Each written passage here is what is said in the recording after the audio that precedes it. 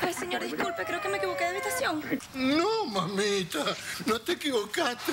Llegaste 25 años tarde, chama.